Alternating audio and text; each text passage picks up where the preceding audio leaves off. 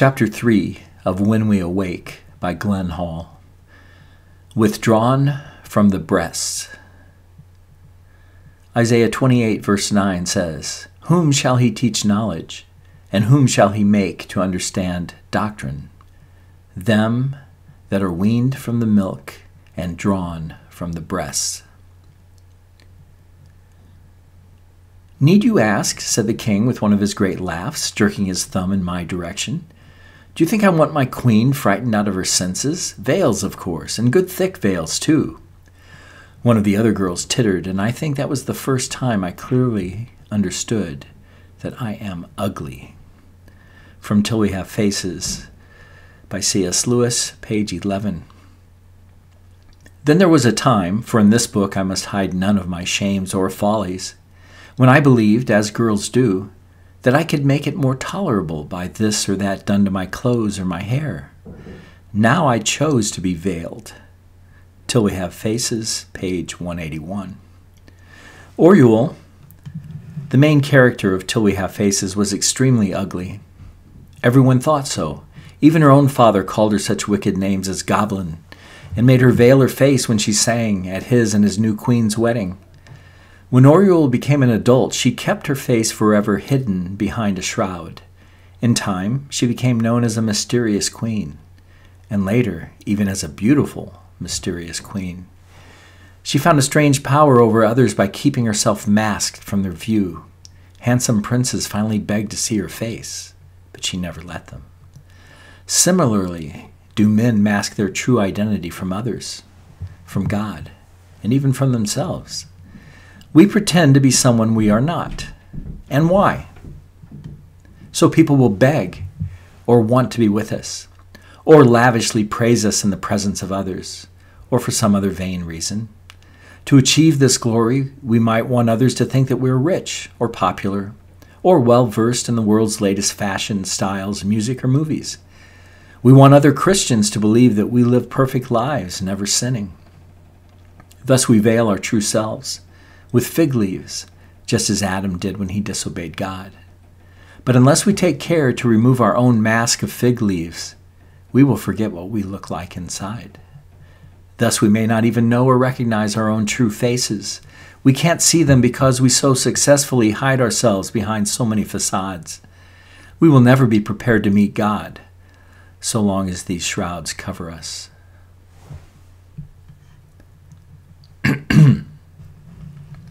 The truth is that a shroud or a mask prevents true communion with man and God. The veil over our soul precludes fellowship with one another, with a husband and his wife, and with a believer and his God. This is the truth that Paul sets out to explain in 1 Corinthians chapter 8, but couches in the mystery that he calls food sacrificed to idols. Paul sets forth several doctrinal examples of food sacrificed to idols in chapters 8 through 11 we will not examine each one in detail in this book. Instead, we will spend most of our time dealing with the mystery of communion. Have you ever thought of the doctrine of communion as a mystery? True communion, or fellowship with man and God, prepares us to see God's face. That is, it prepares us for what we call the rapture. We clearly see that food sacrificed to idols directly relates to communion in 1 Corinthians chapter 10 verse 21 that says, "You cannot drink the cup of the Lord and the cup of demons. You cannot partake of the Lord's table and of the table of demons." Previous verses in chapters 8 through 10 show the relationship between food sacrificed to idols and the table of demons. Now, it is certainly true and a matter of history that particular cultures did offer natural food to idols on pagan altars. It is also true that Israel itself at one time offered food to God in the form of its sacrifices at the tabernacle and the temple. Of course, God mandated these animal sacrifices, but these offerings were not meant for God's literal consumption, as in some pagan worship. They symbolized religious and prophetic truth. Today, it may be that some cultures still do offer actual meat to their god or their idol because they remain ignorant of the one true God and his ways. In biblical times, food sacrificed to God or a god was eaten by both Israelite and heathen priests. Sometimes it was sold in the market. Paul's teaching on the natural level clearly deals with the obvious literal aspect of such offerings. He was following God's established order with mankind of presenting things first in the natural and then in the spiritual. It is very fitting, then, that C.S. Lewis, in his book Till We Have Faces, chose to illustrate the doctrine of food sacrificed to idols by telling the story of a primitive, idol worshiping culture that offered literal animal and human sacrifices to their gods. He used the natural to portray a spiritual truth. Isaiah 28, verses 7 and 9 through 9 say this But they also have erred through wine, and through intoxicating drink are out of the way. The priest and the prophet have erred through intoxicating drink. They are swallowed up by wine, they are out of the way through intoxicating drink. They err in vision, they stumble in judgment, for all tables are full of vomit and filth. No place is clean. Whom will he teach knowledge? And whom will he make to understand the message? Those just weaned from the milk, those just drawn from the breasts.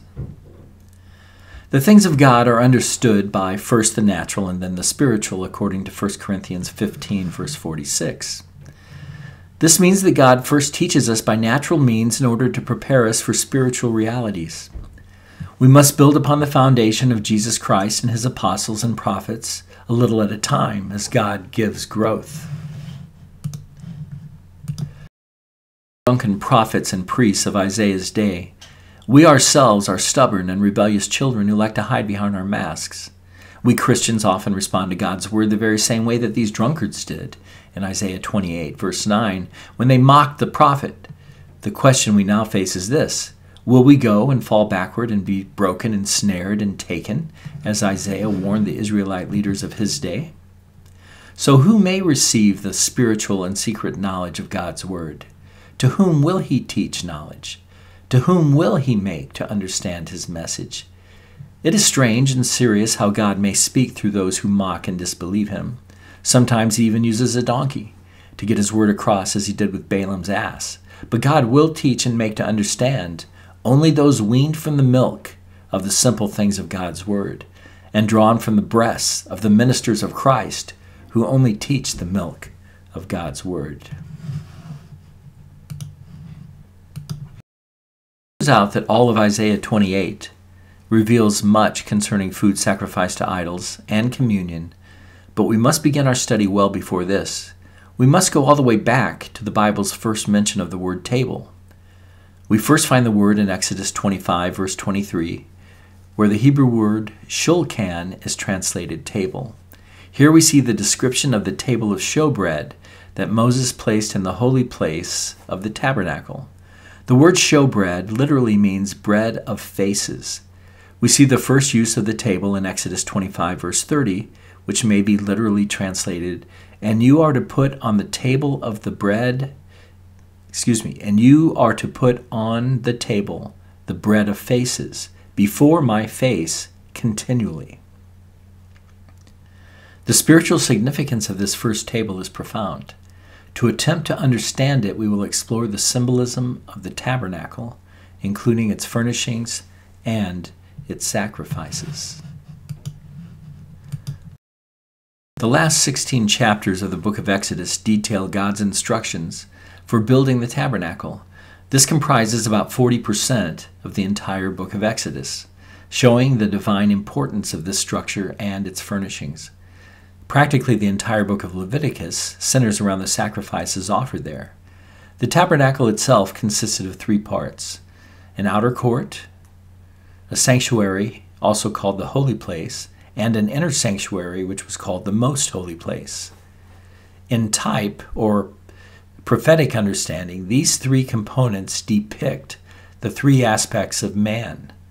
The body corresponds to the outer court, the soul corresponds to the holy place, and the spirit, man's spirit, uh, corresponds to the most holy place. They also correspond to the three major feasts of God Passover, Pentecost, and tabernacles in the same order.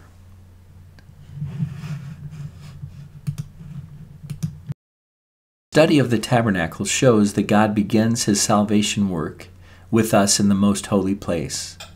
Salvation begins in our spirits when we receive the earnest of the Holy Spirit by faith in Jesus Christ. This is our spiritual salvation and corresponds to our Passover experience. By God's design, this salvation progresses out to the holy place, which represents our soul. And the soul consists of our mind, our will, and our emotions. This corresponds to our Pentecost experience when we allow God to write His law on our hearts, just as He wrote the law on tablets of stone at the first Pentecost at the time of Moses. Salvation ends in the outer court, which represents the body, with the glorification or the resurrection of our bodies. This corresponds to the fulfillment of the Feast of Tabernacles. Man experiences God, however, in the opposite direction. After we believe in Jesus and are begotten of God, we first relate to God in spiritual experiences prophesied by the outer court sacrifices. As we are enabled by the Holy Spirit within to obey in the outer court, in the realm of our flesh, we begin to see our souls conform to the image of Christ. Each of the outer court sacrifices reveals specific aspects of walking in faith with God. Our obedience proceeds from our relationship to Christ. It does not create or establish our relationship. The second part of the tabernacle, the holy place, speaks of our sanctification or the salvation of our souls. The Holy Spirit effects this sanctification. We find that for this sanctification to take place, we must come into agreement with Jesus and willingly obey him in our outer court experiences of life. we must become an Amen people. We must learn to say yes instead of no to God. We must come into agreement with him. Finally, we will find that God writes his laws on our hearts as we come more and more into accord with his ways. Our holy place, our heart, will one day come into perfect unity in sweet communion and union with God. This will occur at the resurrection or the glorification of our bodies at Christ's second coming. The glorification rends the veil between our soul and our spirit. Then the holy place becomes one with the most holy place. Thus, concerning God, His work in us is from the inside out, from our spirit to our soul to our body. Concerning our work for Him, it is from the outside in. This will become very clear as we study the prophetic meaning of the tabernacle's sacrifices and furnishings.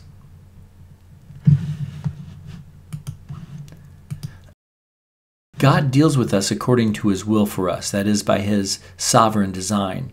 Ephesians chapter 2 verses 8 and 9 says, "For by grace are you saved through faith, and that not of yourselves. It is the gift of God, not of works, lest any man should boast." This reveals that a man has utterly nothing to do with his own spiritual salvation.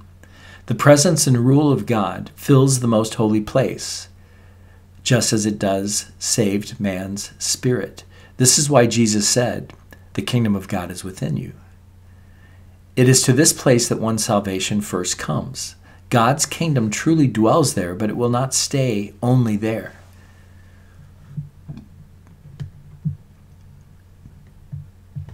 In the scripture, whenever we see salvation in the past tense, the context deals with one's spiritual salvation.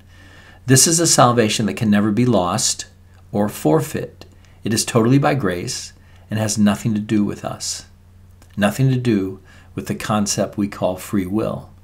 Even though our salvation is by faith in the Son of God, that faith itself is the gift of God and is not produced by our, our own wisdom or our own decision. This means that man does not enjoy a free will with respect to this salvation. God sovereignly saves him from his sins. God himself moves a man to choose his salvation. The grace and the faith that bring one into spiritual life come utterly and only from God. We see these truths clearly in the biblical portrayal of the first Passover in Exodus chapter 12. No one had a real choice to participate in the first Passover. If a father did not want the firstborn in his house to die that night, then he would indeed sacrifice a lamb and place its blood on the doorposts. He had already seen nine profound miracles of God. He did not need to see his son die in order to believe that God would kill the firstborn of his home unless he obeyed. God moved in such a way as to bring the grace and faith necessary for the Israelites to believe upon him for their salvation from the death angel.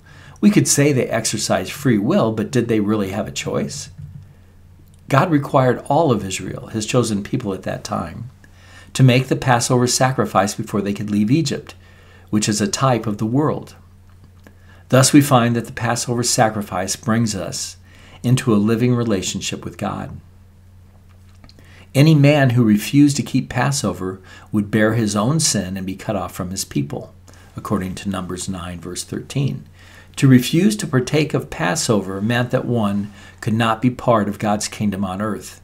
If he would not offer the Passover sacrifice, then he did not stand in a saved relationship to God. In fact, during the first Passover, if he happened to be a firstborn, he would die.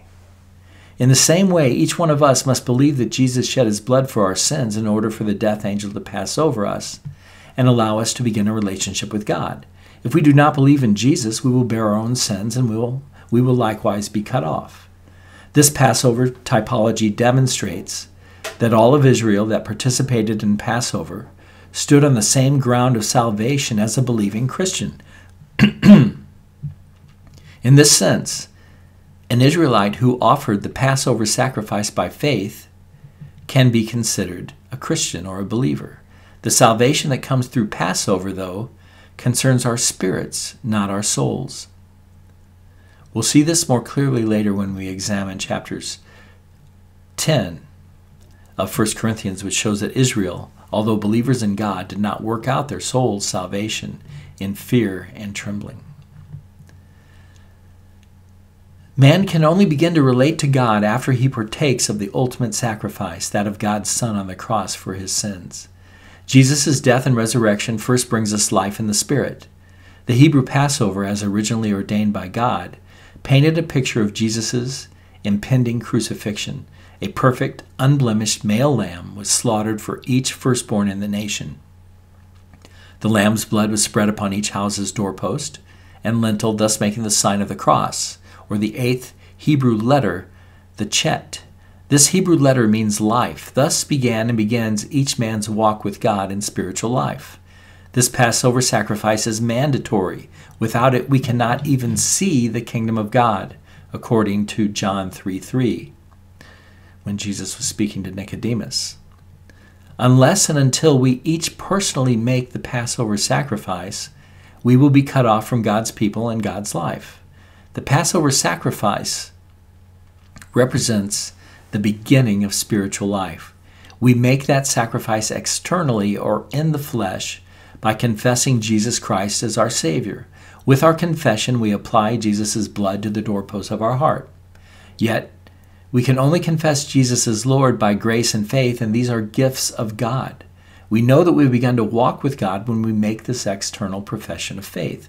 But God begins his sovereign work internally in our most holy place, in our very spirits.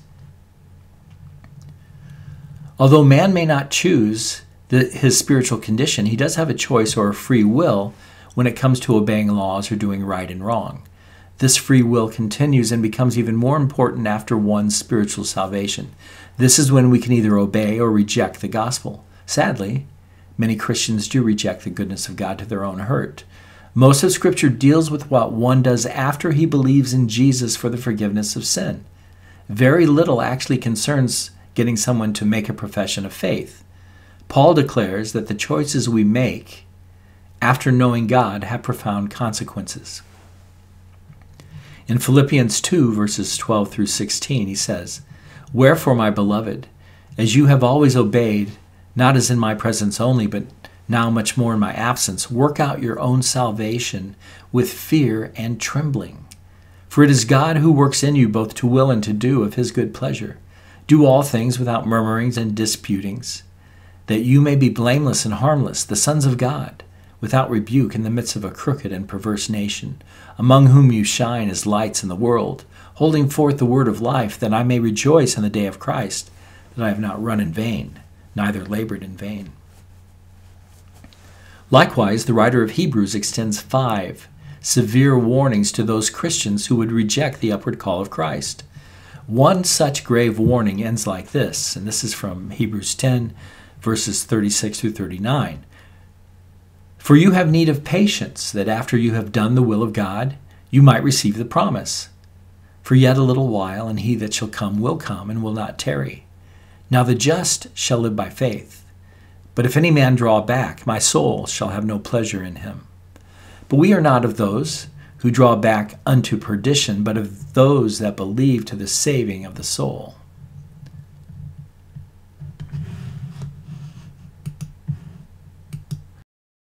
we clearly see a salvation different from the one of which we have known and been taught in the past.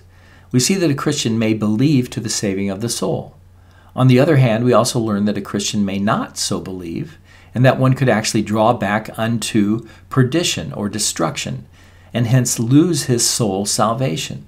This explains why this salvation has to be worked out in fear and trembling. We must not presume upon God and take our salvation lightly. This salvation corresponds to the sanctuary of the tabernacle, the holy place.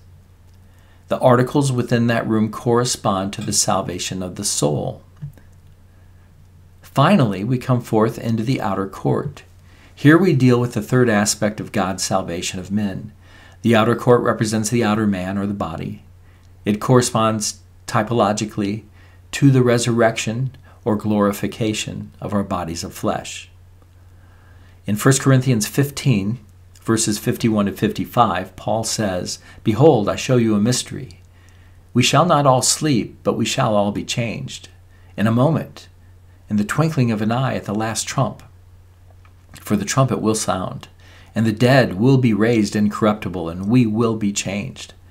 For this corruptible must put on incorruption, and this mortal must put on immortality. So when this corruptible shall have put on incorruption, and this mortal shall have put on immortality. Then shall be brought to pass the saying that is written Death is swallowed up in victory. O death, where is your sting? O grave, where is your victory? This passage speaks of the day when the veil between our flesh and spirit will be utterly torn asunder. Then we will receive our new spiritual bodies from God. At that time, we will awaken with faces that allow us to behold the fullness of God in all his glory. But do not mistakenly assume that this glorified body will come to everyone who calls himself a Christian or has made a confession of faith in Jesus. We cannot expect the glory of perfect communion with God when we continue in a mad pursuit of lust and sin. We must first purposefully begin to realize the salvation of our souls and learn to dwell in the holy place of God's presence and communion. May God give us grace to learn how to approach Him. We know that we can only come to God if we are cleansed of our sins by the blood of Jesus. As Hebrews teaches in chapter 9, verses 13 and 14 For if the blood of bulls and goats and the ashes of a heifer, sprinkling the unclean, sanctifies for the purifying of the flesh, how much more shall the blood of Christ, who through the eternal Spirit offered himself without spot to God, cleanse your conscience from dead works to serve the living God. The basic typology of Scripture shows that the shedding of blood in all of the animal sacrifices points to Jesus' shed blood on the cross for our sins. Interestingly, however, man's dealings with God are exactly the reverse of his dealings with us. We work out our soul salvation in bodies of sin the flesh. We do this by learning God's ways and by walking in obedience to those ways. We become able to walk in his ways by the power of the Holy Spirit who lives in us. Paul calls this living according to the Spirit. This corresponds to the prophetic application of the food sacrifices that Israel made at the first tabernacle furnishing, the bronze altar. The book of Leviticus details the many explicit sacrifices required by God. Each of these bronze altar sacrifices contained prophetic truth meant for us. Remember, though, before the Israelites could sacrifice on the bronze altar, they had to partake of the Passover lamb. Likewise, we must partake of the blood of Jesus Christ to cover our sins before we do any works for God. Good works always come after salvation, they never bring us salvation. God ordained five main sacrifices for the bronze altar in the courtyard of the tabernacle. The first was the whole burnt offering, the second was the meal or the grain offering. The third was the peace offering, the fourth, the sin offering, and the fifth was the trespass offering. These prophetically represent the believer's approach to God after his initial faith in Christ. Remember that an Israelite was spiritually saved by his Passover sacrifice. He did not come into initial fellowship with God by his sacrifices at the bronze altar. Similarly, according to Ephesians 2 8 and 9, Christians are saved by faith in the atoning blood of Jesus, not by their works. The Bible also clearly shows that Jesus was the Passover lamb slain for the sins of the world. Paul, for example, specifically states this in 1 Corinthians 5 7. Rather than representing spiritual salvation, these five tabernacle sacrifices represent the good works that come after we receive the earnest of the Holy Spirit. They therefore prophesy concerning the believer's spiritual walk. This the Bible calls the process of sanctification or the salvation of the soul. The altar sacrifices and the laver of water as a whole represent the good works required by God. They also correspond to the elementary truths of God's Word revealed in Hebrews 6 1 and 2. These elementary truths comprise the milk of God's Word, but as we will see, the truths revealed there are not as basic as we would think. Once we understand them, we can begin to wean ourselves from always focusing on the few issues of getting saved. Then we can press on into maturity and communion with God and one another. Indeed, we will find that it is by doing the good works required by the outer court sacrifices that we effect the salvation of which Paul speaks in Philippians 2:12, saying, "Work out your own salvation with fear and trembling." Paul cannot be talking here about the spiritual salvation of which Ephesians 2 8 and 9 speaks, because that salvation is by God's grace and faith and is not by our works at all. The various sacrifices presented at the bronze laver and altar deal with that aspect of our flesh that still tends to reject God and His Word. All five of these sacrifices were made in order to remain in fellowship with God. Each of the five major Levitical sacrifices typifies a particular aspect of our walk with God after our spiritual salvation. Thus, we see that the tabernacle sacrifices prophesy the sanctified, spirit led life, and that none of the outer court sacrifices deals exclusively with the one time sacrifice for sin that Jesus accomplished on the cross. The blood of each, however, was effective only because of the blood he shed on that cross. Only the Passover lamb itself typifies the sacrifice of God's one and only Son. It is important to understand this fact before we go on to study each of the individual sacrifices. If we fail to apprehend this, we will constantly attempt to apply the sacrifices to spiritual salvation and will, therefore, miss their entire prophetic meaning. We will now begin with the fifth sacrifice, the trespass offering, and work backwards to the first, the burnt offering. End of chapter 3 of When We Awake by Glenn Hall.